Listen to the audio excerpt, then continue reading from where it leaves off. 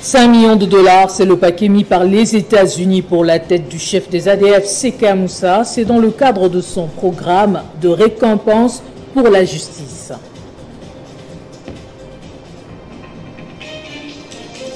Sit-in ce vendredi des professeurs d'université. Objectif exiger à la partie gouvernementale d'honorer ses engagements pris depuis les accords de Bibois. Emmanuel Macron en tournée africaine. Le président français arrive dans la soirée à Kinshasa. Dernière étape de sa tournée après l'Angola et le Congo-Brazzaville.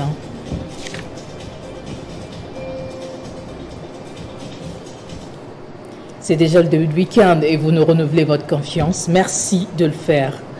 La République démocratique du Congo et la République de Burundi s'apprêtent à revisiter leur partenariat militaire dans le cadre de la grande commission mixte en matière de sécurité et défense.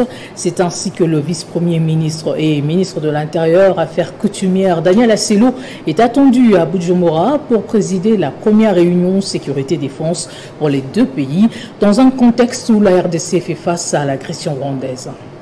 Cette commission mixte composée des ministres de l'Intérieur et Défense des deux pays la RDC le Burundi et leurs experts des services de sécurité, notamment les renseignements, la police, l'armée et les services des frontières, va procéder à l'évaluation des recommandations de la feuille de route issue de la quatrième session tenue à Kinshasa du 31 août au 2 septembre 2021 les questions d'actualité et d'intérêt commun entre les deux pays, notamment la mutualisation des opérations entre les forces armées de la République démocratique du Congo et la Force nationale de défense du Burundi, ou encore le soutien aux projets intégrateurs entre les deux États seront également abordés. La problématique des réfugiés ne sera pas en reste la coopération transfrontalière et l'implication des forces de défense et sécurité des deux États pour une prise en charge des milliers de réfugiés congolais et burundais va occuper une place de choix. Il faut dire qu'à l'issue des travaux, les participants vont procéder à la mise en place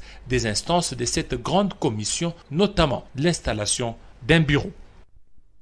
L'RDC, dont ses forces armées sont engagées sur tous les fronts en Ituri contre les groupes armés étrangers et locaux, auteur de l'insécurité et différents crimes commis sur la population civile en territoire de Djougou, Irumo et Mambasa. C'est le gouverneur militaire lieutenant général Johnny Luboya Kachama qui l'a déclaré jeudi devant la presse.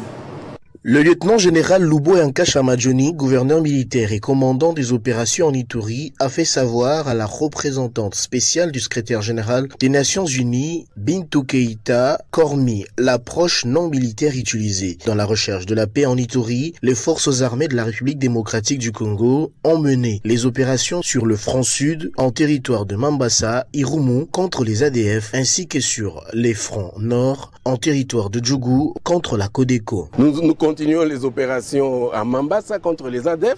Je crois que vous avez vous-même compris que entre euh, sur la RN4 de Commanda à Luna, il n'y a plus d'incendie de véhicules comme ça se passait avant que ça soit aussi entre Commanda et, Mambasa, c'est tout simplement parce que nous sommes en train de beaucoup travailler. À Nirumu aussi, les populations sont rentrées et nous sommes en train de travailler. Boga Chabi aussi, vous êtes informés. Là, nous sommes en train de travailler avec nos éléments, des fois aussi avec euh, les opérations conjointes avec euh, nos amis d'à côté. Et voilà, nous sommes présents partout. À l'instar des groupes armés locaux hostiles au processus de paix initié par le président de la République, Félix Antoine Tshisekedi, les forces armées continueront à mettre de la pression militaire sur les ennemis de la paix, a laissé entendre le commandant des opérations en Ituri. Aujourd'hui, nous savons que le point chaud, c'est vers Mungwalu c'est là où il y a plus d'insécurité à cause de ces mines-là. Parce que le grand problème, c'est le contrôle des mines. nous avons une compagnie spéciale qui est formée pour ça, que nous allons projeter vers euh, Mungwalu pour qu'effectivement, ils s'occupent de tous ces grands bandits qui sont de ce côté-là. Rappelons que le gouverneur militaire de l'Ituri s'est entretenu avec Madame Bintou Keita qui a loué le travail abattu par l'administration militaire dans la recherche de la paix avec l'appui de la MONUSCO, partenaire privilégié de l'État congolais. Pendant ce temps, les États-Unis ont mis 5 millions de dollars en récompense à toute information susceptible de mener à Seka Moussa, chef des ADF. Milice affiliée au groupe État islamique dans l'est de la RDC, annonce faite par l'ambassade américaine à Kinshasa pour les États-Unis d'Amérique. Ça fait partie de ce qu'on appelle le programme de récompense pour la justice. Ces rebelles d'origine ougandaise sont accusés d'avoir massacré des milliers de civils et sont à la base du terrorisme dans l'est du pays. Et puis face à cette situation sécuritaire, le député national Lambert Mende a proposé six solutions pour mener avec efficacité, selon lui, la guerre imposée à la RDC par le Rwanda. C'était au cours d'un point de presse que je vous propose de suivre. Que le gouvernement soit autorisé par le Parlement, dès la rentrée parlementaire de mars, à lever un impôt substantiel pour l'effort de guerre, afin de mobiliser des ressources financières et logistiques supplémentaires suffisantes au profit de nos forces de défense et de sécurité. Que la classe politique s'astreigne pendant le temps des hostilités à une trêve afin de taire les divergences et les élucubrations qui éloignent le pays de la nécessité existentielle de préserver son intégrité territoriale qu'une réglementation martiale encadre désormais le discours politique dans le cadre de la pré-campagne électorale. Que les efforts au plan interne, régional et international se poursuivent au niveau régional avec la SADEC afin de pallier aux insuffisances opérationnelles constatées avec la force de l'East African Community que nos médias, que vous représentez ici, que nos réseaux sociaux brisent les soubassements identitaires inconsistants du brigandage du régime du président Kagame lorsqu'il endosse de manière abusive le manteau de porte-parole des prétendus rwandophones du Congo pour justifier ses aventures bellicistes dans une approche purement tactique et utilitariste destiné à couvrir ces turpitudes. Que les Congolaises et les Congolais, quelles que soient les communautés auxquelles ils appartiennent, élèvent la voix à l'unisson pour condamner ces émissions grossières du régime rwandais dans leurs problèmes. Autre chose à présent, les accords de Bibois sont mis en stand-by et malgré les assurances du gouvernement, aucune évolution n'a été enregistrée à ce jour. Outrés, les professeurs sont à nouveau descendus dans les rues pour exiger à la partie gouvernementale d'honorer ses engagements. C'est devant l'hôtel de gouvernement qu'ils ont exprimé leur ras-le-bol lors d'un sit-in ce vendredi vêtus de leur touche? Le 24 février dernier, les professeurs étaient d'accord de poursuivre les négociations déjà en cours entre la Pukine et le gouvernement sous la supervision du cabinet du président de la République. Ces derniers menaçaient cependant de décréter une grève sèche et illimitée si les revendications n'étaient pas prises en compte. Le gouverneur Gentini Ngobila a officiellement lancé jeudi la campagne de déclaration et du paiement de l'impôt foncier et de l'impôt sur le revenu locatif exercice 2023 sur toute l'étendue de la ville de Kinshasa. C'était dans une cérémonie organisée par la Direction générale des recettes de Kinshasa. C'est sous un beau soleil à Kinshasa que le gouverneur de la ville, Gentili Ngobila, a procédé au lancement officiel de la campagne de déclaration du paiement de l'impôt foncier et de l'impôt sur les revenus locatifs, exercice 2023, sur toute l'étendue de la ville, au siège de la Direction générale des recettes de Kinshasa. De remercier son Excellence Gentili Ngobila Mbaka, gouverneur de la ville de Kinshasa, pour son inconditionnel accompagnement et la confiance qu'il place à la DGRK.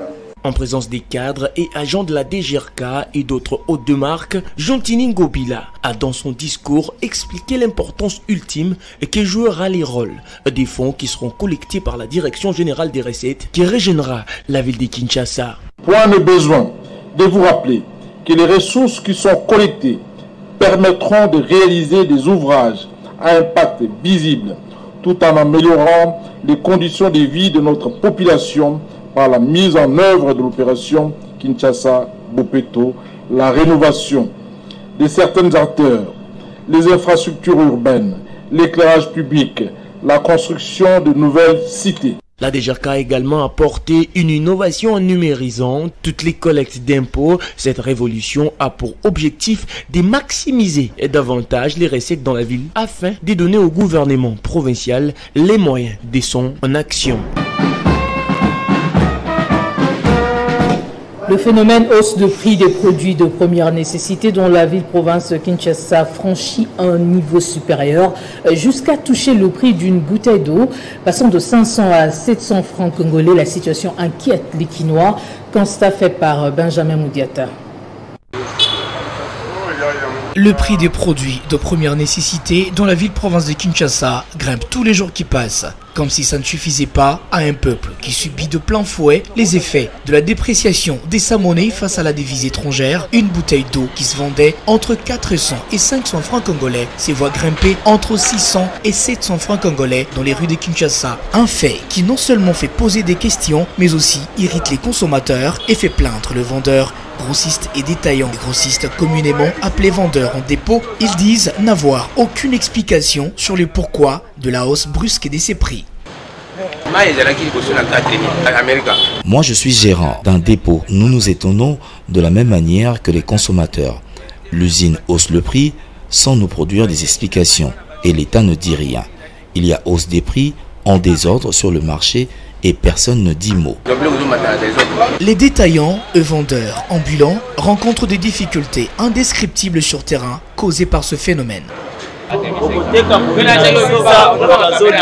Nous ne savons pas où va ce pays finalement. Le prix du paquet d'eau a haussé juste comme ça.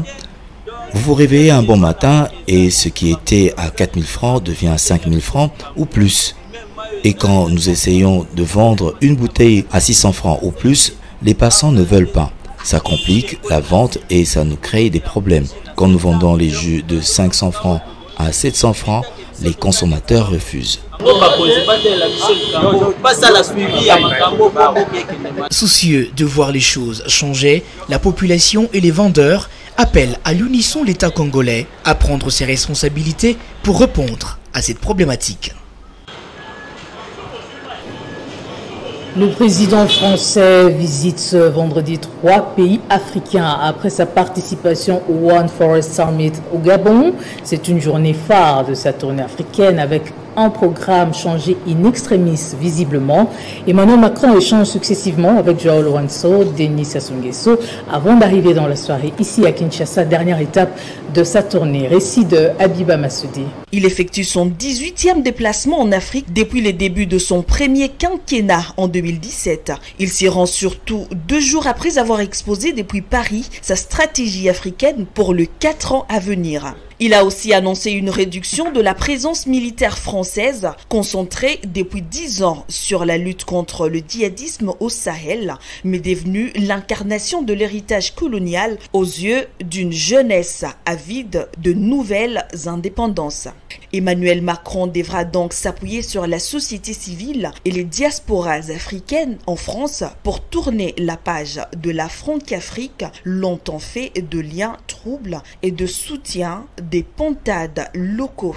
Il se défend donc de toute démarche politique et assure que l'unique but de sa visite est le sommet sur le forêt du bassin du Congo, premier poumon de la planète selon l'Élysée, désormais menacé par la surexploitation agricole. La République démocratique du Congo, plus grand pays francophone du monde, lui offre sans doute une meilleure opportunité pour dérouler sa vision de l'Afrique. Mais là aussi, le président Tshisekedi, au pouvoir des depuis janvier 2019, sa présence a une échéance électorale cette année et l'opposition ne voit pas d'un bon œil cette visite. Le président français sera aussi très attendu sur la crise dans l'est du pays où le Rwanda est accusé de soutenir la rébellion du M23 et où il a tenté en vain une médiation. L'unité, la souveraineté, l'intégrité territoriale du Congo ne se discutent pas.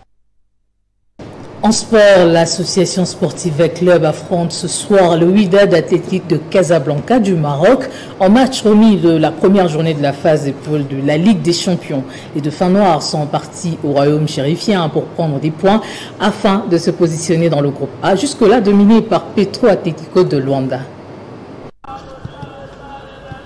C'est avec un mental d'acier que les Moscovites vont affronter le Wydad Athletic de Casablanca. L'enjeu de ce match reste la première place du groupe A le club de Kinshasa en inconscient. Suivons, nous suivons Wydad, on sait comment ils évoluent, même les changements, ils ont, fait ils ont même changé les coachs.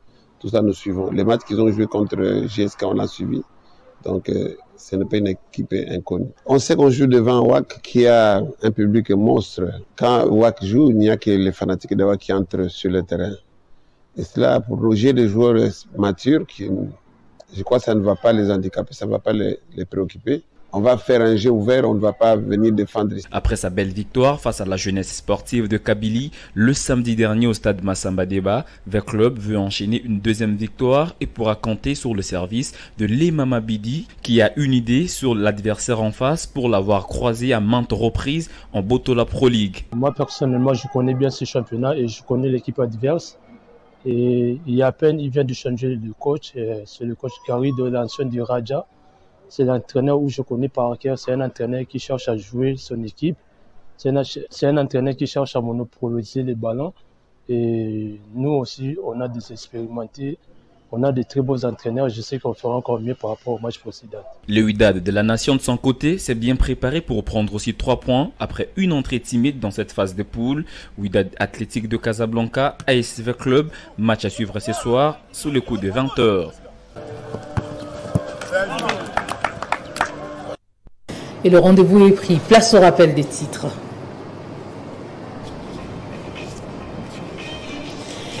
5 millions de dollars, c'est le paquet mis par les États-Unis pour la tête du chef des ADF, Seka Moussa. C'est dans le cadre de son programme de récompense pour la justice.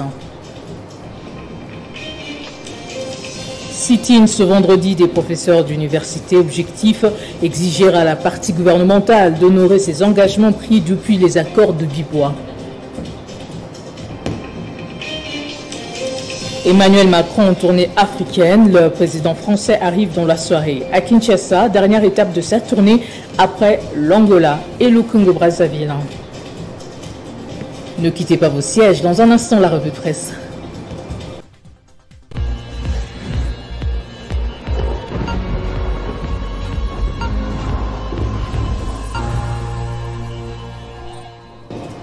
Et c'est avec euh, Grâce Salambour que j'ai le plaisir de retrouver. Bonjour et bienvenue.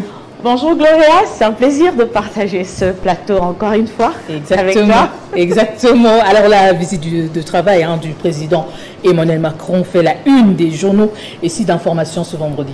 Tout à fait Gloria et à ce sujet, France 24 titres à sa une, Emmanuel Macron en Angola. Au Congo et en RDC ce vendredi, le rédacteur de cet article note que c'est la journée phare de sa tournée africaine censée promouvoir le nouveau visage de la diplomatie française sur le continent. Abordant le même sujet, EcoNews rapporte qu'à Kinshasa comme ailleurs, les avis sont partagés sur ce voyage à haut risque de Macron. En effet, c'est la France qui joue sa survie en RDC.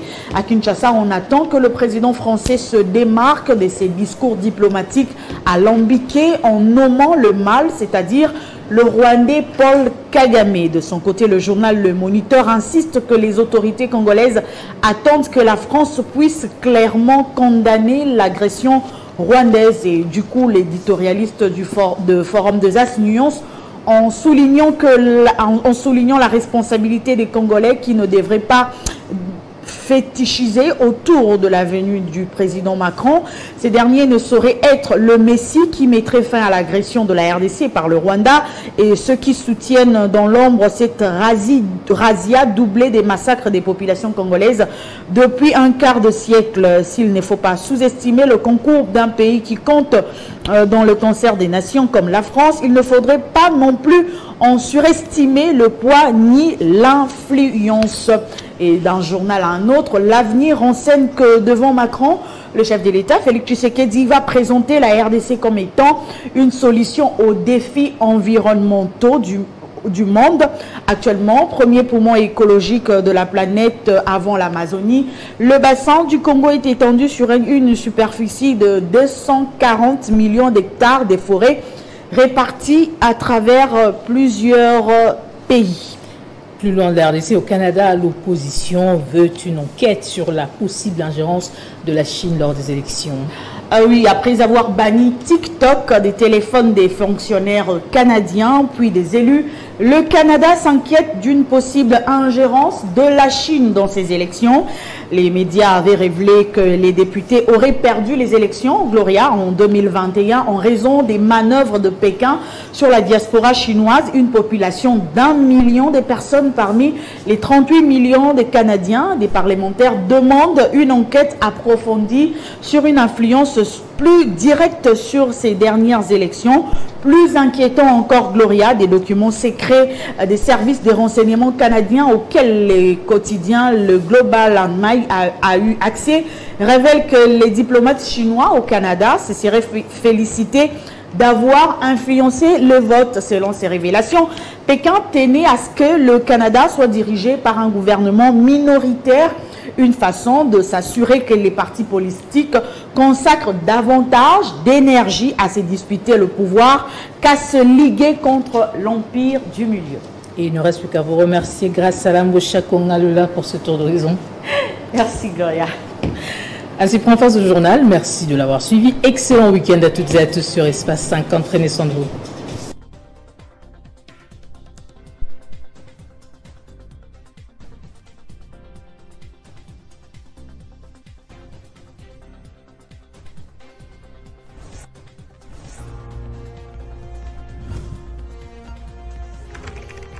L'actualité reste incrotinue.